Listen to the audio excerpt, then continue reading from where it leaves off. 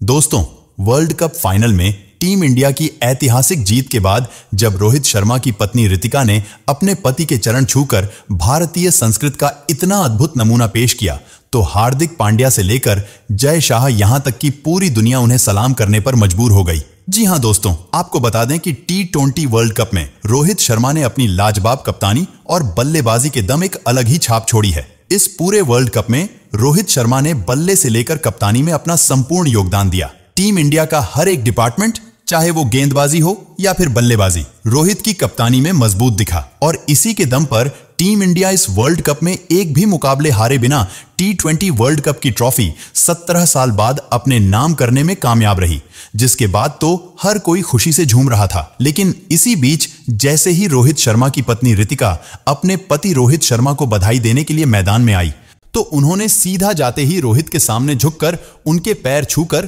पहले उनका आशीर्वाद लिया।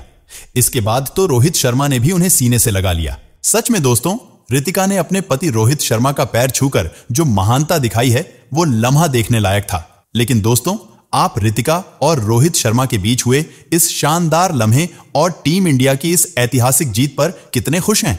हमें कमेंट करके ज़रूर बताएँ।